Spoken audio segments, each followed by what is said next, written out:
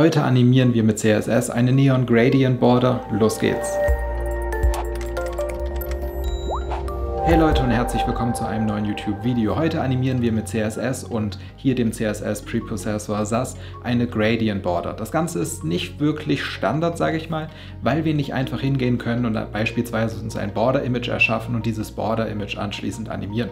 Das Ganze funktioniert so nicht, deswegen müssen wir einen kleinen Workaround bauen und ein bisschen um die Ecke denken. Das Ganze ist aber ziemlich cool und ist ein wirklich witziger Effekt für eure Webseite.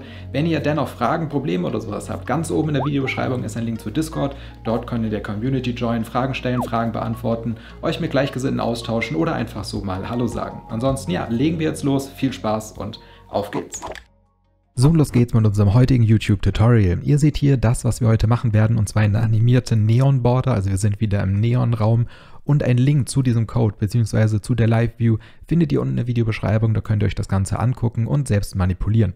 Ich empfehle aber jedem zu verstehen, wie dieser Effekt wirklich funktioniert, damit man ihn adaptieren und für sein Projekt anpassen kann. Ansonsten legen wir jetzt los und gucken mal, wie wir mit CSS ein bisschen einen Workaround bauen, um ein Linear Gradient zu animieren. So, los geht's mit dem eigentlichen YouTube-Tutorial. Ihr seht hier meine Standard-Entwicklungsumgebung. Hier an der Seite Chrome, hier Visual Studio Code in meinem Custom-Theme mit meiner Standard-Entwicklungsumgebung. Diese ist unten in der Videobeschreibung verlinkt. Ansonsten habe ich für dieses Tutorial noch nichts vorbereitet. Wir haben hier eine relativ leere Index-HTML. Alles, was für dieses Video wichtig ist, schreiben wir gleich hier rein. Und ansonsten benutzen wir nur SAS bzw. CSS und das Ganze ist hier. Ich importiere hier oben lediglich einige Farbvariablen und sorge dafür, dass der Hintergrund hier dunkel ist. Aber alles, was für dieses Tutorial wirklich entscheidend ist, das wird in diesem Video passieren. So, los geht's mit dem eigentlichen HTML-Part dieses Videos. Dieser ist sehr, sehr kurz, also wir müssen hier nicht wirklich viel machen. Und zwar als erstes brauchen wir eine Diffbox. Diese Diffbox hat eine Klasse namens Card und hat einen Child, nämlich auch wieder eine Diffbox mit der Klasse Content.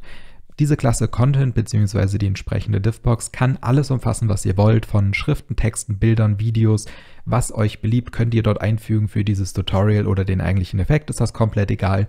Das eigentlich Entscheidende ist, dass am besten der Inhalt, also der Content, auch eine dunkle Hintergrundfarbe hat und die auch allgemein mit einem dunklen Theme arbeitet. Ein Neon mit einem Light bzw. einem weißen Hintergrund ist vielleicht nicht das Schönste und ist nicht so richtig ansprechend, finde ich, für diese ganze Optik. Prinzipiell ist das aber schon alles, was wir in HTML machen müssen, deswegen speichern wir das jetzt und machen weiter mit CSS. So, los geht's mit unserem eigentlichen coolen Effekt. Und das erste, was wir machen, ist uns einige Variablen zu definieren. Weil wir werden im Laufe des Videos immer wieder die Weite brauchen, deswegen definieren wir uns direkt als Variable und auch die Höhe definieren wir uns direkt als Variable, weil wir die immer wieder verwenden müssen. Die nächste, die wir auch immer wieder brauchen werden, ist die sogenannte Border Size, also einfach die Größe unseres animierten Effekts. In dem Fall ist das quasi einfach diese ja, diese schöne Neon-Border, die wir hier haben, die wollen wir auch definieren, weil wir die auch immer wieder brauchen. Das nächste, was wir brauchen, ist Border Radius. Das ist einfach unsere runde Ecke, beziehungsweise wie groß diese sein soll. Das Ganze speichern wir jetzt mal ab und das sind nämlich die ersten Variablen, die wir brauchen. Das nächste, was wir jetzt machen, ist schlicht und ergreifend erstmal unsere Card zu stylen. So, und unsere Card lässt sich relativ einfach erstellen. Und zwar sagen wir hier einfach .card und definieren uns hier eine Weite und verweisen hier einfach direkt auf unsere Höhe, äh, auf unsere Weite und hier dasselbe mit unserer Höhe. Außerdem müssen wir hier eine Position und nicht inherit, sondern relative machen und z-index 2. Warum machen wir das? Wir werden ja später zwei Elemente erzeugen, nämlich einmal unsere Border und diesen schönen Neon Glow hier im Hintergrund und das werden sogenannte Pseudo-Elemente, also after und before. Und um diese absolut positionieren zu können, in Abhängigkeit unserer eigentlichen Karte, müssen wir das als Ankerpunkt definieren und das machen wir mit Position Relative. Position Relative hat daher keine Auswirkungen auf das, die eigentliche Positionierung der Karte, aber auf die absolute Positionierung der Childs, in diesem Fall halt unsere beiden Pseudo-Elemente. Das nächste, was wir hier machen, ist ja zu sagen, okay, unsere Karte hat natürlich auch einen Border Radius, in unserem Fall einfach Border Radius und ich mache jetzt hier einfach mal Background-Color und sage hier CI Red und speichere das Ganze ab. Jetzt haben wir hier unsere Karte definiert und wir können hier reingehen und sagen Punkt Content und sage hier with 100%, weil unser Content soll immer 100% der Höhe und der Weite unserer Karte entsprechen.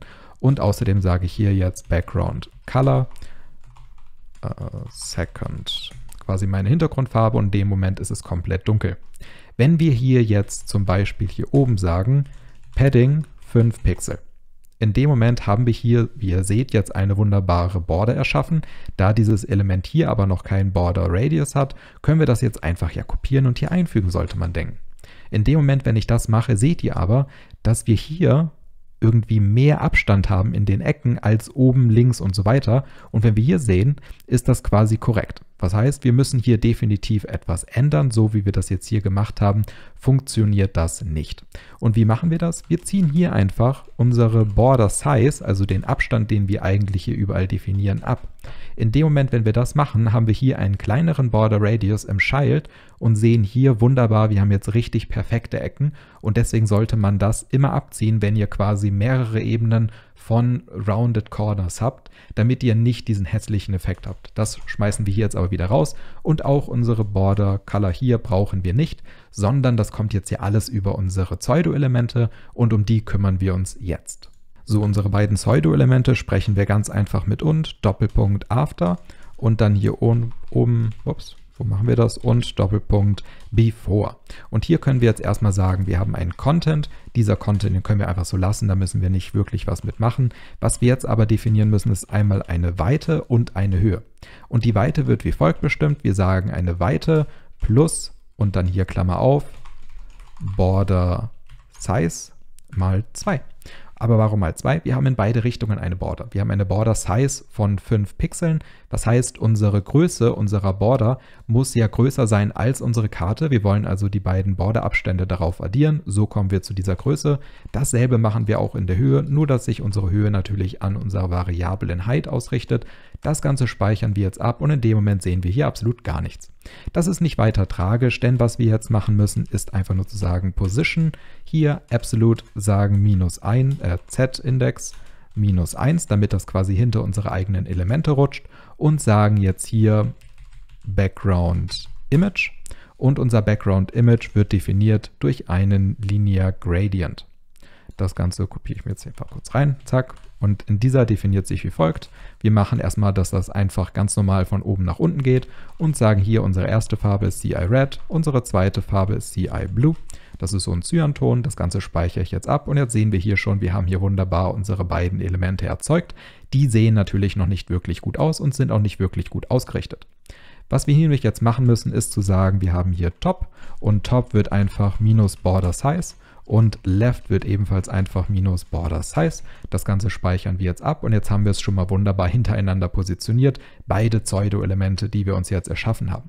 Dadurch, dass wir Pseudo-Elemente benutzen, habt ihr den großen Vorteil, dass euer HTML-Code relativ sauber bleibt, weil dieser Effekt für die eigentliche HTML-Struktur halt komplett irrelevant ist. Ein Browser muss nicht wissen, eine Suchmaschine muss nicht wissen, dass hier eine Border darum liegt. Das interessiert ihr auch nicht sonderlich, deswegen können wir das komplett ignorieren. Was wir jetzt natürlich machen müssen, ist auch hier ein Border Radius zu definieren. Dazu haben wir unsere Variable Border Radius, das führe ich jetzt einfach ein und zack, wir haben unsere wunderbare Größe. Unsere Karte sieht schon mal gar nicht schlecht aus wie auch quasi hier. Das Ganze kann ich auch wieder auf eine normale Größe machen. Das ist jetzt 100% und das sieht schon mal wunderbar aus. Was wir jetzt natürlich machen müssen, ist noch einiges mehr. Und zwar unser Before-Tag wird quasi unser eigentlicher Hintergrund, beziehungsweise unser After wird unser eigentlicher Hintergrund. Und dazu sagen wir, wie auch bei restlichen ähm, ja, Neon-Elementen, legen wir einfach einen Blur drauf. In diesem Fall abhängig von der Größe beziehungsweise der Weite. Und wir haben hier einen wunderbaren Blur. Den könnt ihr natürlich hiermit wunderbar manipulieren. Jetzt ist er ein bisschen stärker, ein bisschen kleiner. Ihr könnt das Ganze auch größer machen. Ihr könnt auch hier noch beispielsweise ein Opacity einbauen, wenn ihr das Ganze ebenfalls mit animieren wollt oder so etwas. Also ihr seid hier relativ frei und könnt das manipulieren, wie ihr möchtet. Ich persönlich finde das relativ cool, wenn man das gerade so ein bisschen größer macht, weil das so ein bisschen mehr darauf wirkt, als wenn es stark scheint. Damit sind wir auch schon in unserer Karte relativ dicht an unserem Ergebnis, aber wir haben noch keine Animation. Diese Karte animiert sich ja, ihr seht, dass die Farben der Border sowie auch des Hintergrunds sich verändern. Was heißt, wir müssen diese beiden Tags animieren. Und wie wir das machen, gucken wir uns jetzt mal im Detail an. So, aber bevor wir etwas animieren können, ist es wichtig, etwas zu verstehen. Wie zu Beginn des Videos schon gesagt, können wir dieses Attribut, also diese Funktion Linear Gradient, nicht animieren. Das können wir einfach nicht, das kann man nicht animieren und wir müssen ein bisschen einen Workaround schaffen. Das erste, was wir hiervon machen müssen, ist unser Hintergrundbild, also unser Background äh, Image, in diesem Fall die Size, zu manipulieren. Die Größe des Bildes in der Weite soll 100% betragen, in dem Fall verändert sich noch nichts. Wir wollen jetzt aber auch die Höhe unseres Bildes verändern auf 200% und ihr seht, es ist gerade komplett blau geworden, beziehungsweise fast komplett blau geworden. Wenn ich das auf 300% hochdrehe, dann ist es komplett blau. Der Grund hierfür ist, unser Hintergrundbild ist nichts anderes, auch wenn es gerade ein Verlauf ist, als ein Bild. Und wir haben mit Background Size jetzt gerade die Größe verändert. Hiermit die Weite auf 100% gesetzt und die Höhe quasi skaliert auf 300%. Das bedeutet, dass unser pinker Verlauf hier unten irgendwo zu sehen ist, aber nicht mehr Teil unseres eigentlichen Bildes, weil standardmäßig Background Images immer oben links positioniert werden. Also alles, was quasi in unserem Bild hier unten rechts ist, ist einfach nicht mehr Teil unseres Formates, weil es mit 300% aus unserem Bild rausgeht. Um das jetzt ein bisschen zu verdeutlichen, können wir das Ganze animieren bzw. positionieren. Dazu sage ich hier einfach mal kurz Background und hier Position. Standardmäßig haben wir hier 00 oder Top Left. Das ist quasi das, der Default-Wert. Ihr seht, es verändert sich nichts. Wenn ich jetzt hier aber sage 100% mit nur einem Prozentzeichen, dann sehen wir, es ist jetzt pink geworden, weil wir die Position unseres Hintergrundbildes verändert haben. 50% verändert das wieder in eine andere Richtung und so können wir das Ganze animieren. Das heißt, wir animieren eigentlich gar nicht unser Hintergrundbild oder den Gradient, das macht eigentlich gar keinen Unterschied, sondern wir verändern die Position unseres Hintergrundbildes, das wir mit Hilfe des Linear Gradients erschaffen. Und wie animieren wir so etwas? Ziemlich einfach und zwar standardmäßig mit unserem Keyframe und hier haben wir jetzt einfach eine Animation, die nennen wir Move und wir animieren natürlich unsere Background Position. Unsere Background Position animieren wir in dem Fall nicht wirklich kompliziert, nicht wirklich umfangreich, sondern wir sagen standardmäßig starten wir Top und Center. Und wenn wir bei 100% sind, dann enden wir einfach beim Bottom und ebenfalls Center. Wir können das jetzt hier auf 300% drehen, das abspeichern und mehr passiert hier erstmal nicht, weil wir müssen jetzt ja unsere Animation hier erstmal definieren. Wir beziehen uns also auf unsere Keyframe, äh, Keyframe Move und sagen hier einfach mal 2500 Millisekunden. Das Ganze soll Infinite laufen und Alternate sowie linear. In dem Moment, wenn ich das jetzt abspeichere, sehen wir, dass das Ganze sich jetzt wunderbar animiert. Zu pink, dann wieder zu blau, dann wieder zu pink und so weiter. Ihr könnt das Ganze jetzt natürlich manipulieren in jede Richtung. Wenn ihr das zum Beispiel kleiner macht, dann wird dieser Effekt deutlich schneller. Wenn ihr das natürlich hier zum Beispiel auch einfach schneller animiert, dann wird das hier auch deutlich schneller und deutlich pulsierender quasi. Da sind euch also keine Grenzen gesetzt. Auch könnt ihr natürlich diesen Gradient drehen, einfach mit 45 Degree beispielsweise.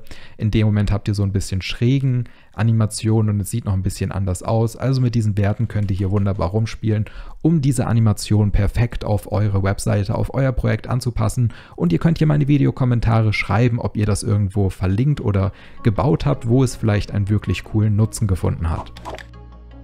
So, das war schon wieder für diese Woche. Wenn euch das Video gefallen hat, hinterlasst einen Daumen hoch oder einen Kommentar unter dem Video. Ansonsten, wenn ihr Fragen, Probleme, Kritik oder sowas habt, ganz oben in der Videobeschreibung findet ihr jede Menge Social Media Links oder Amazon Affiliate und andere Partnerseiten, wo ihr diesen Channel supporten könnt. Ansonsten, ja, sehen wir uns nächste Woche wieder. Bis dahin viel Spaß und